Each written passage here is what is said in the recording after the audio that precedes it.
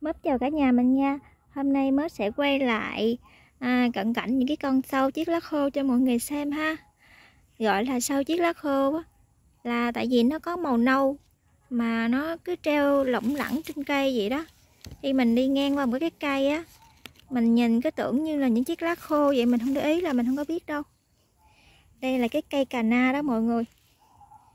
Đó nãy giờ cả nhà mình có thấy được cái con sâu nào chưa?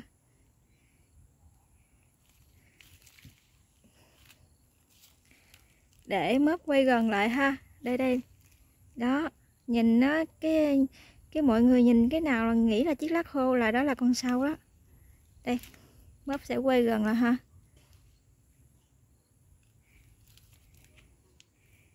Đây là con sâu nè mọi người.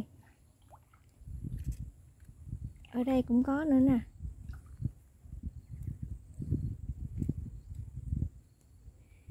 Để mớp quay gần cái con này cho mọi người xem ha nhìn như vậy không có, không thấy đâu, để mới đưa tay vô nè. Đó.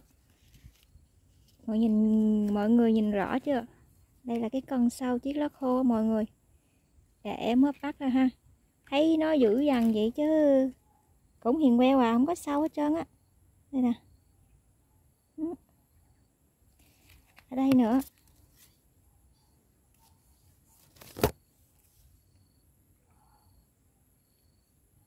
Nè anh chưa tới là anh đã dưa cái cái, cái chân ra luôn nè ghê không? Trạng mà hâm giỏ đó. Nè.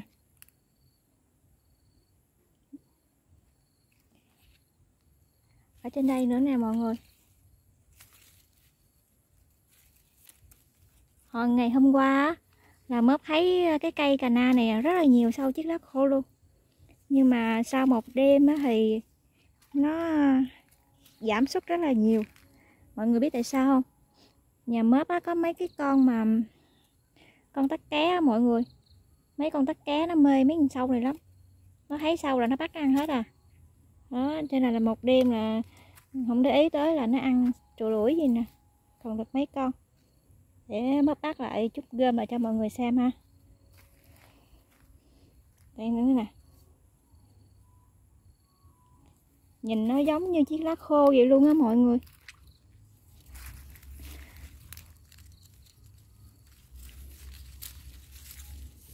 Nó bám ờ, rất là chắc trên cây luôn.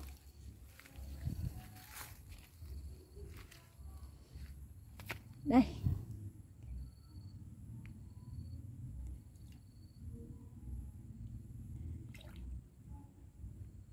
Nó nhả mấy cái ờ, nàng lá xong rồi nó nhả ra trên cái tay mình màu xanh xanh đó mọi người.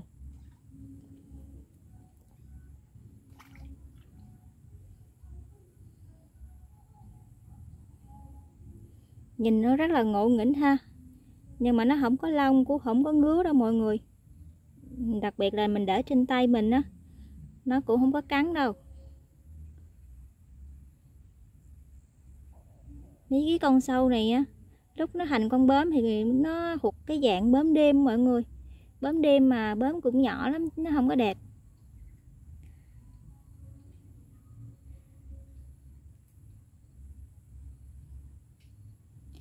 Mấy con sau này mình để tự nhiên ờ, ở ngoài cây á.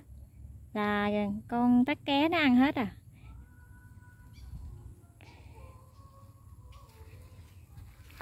Đây, mình quay lại cái ờ, nó cuốn cái lá lại, nó quá nhộng nè mọi người.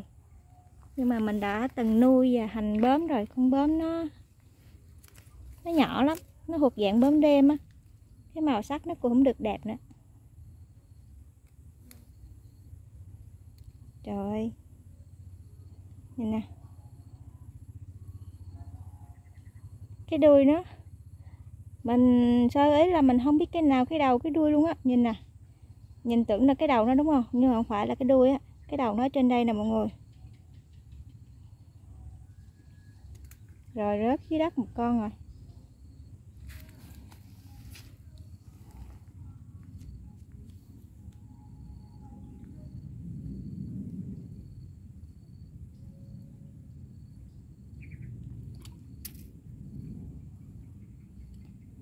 Video mình tới đây thôi nha.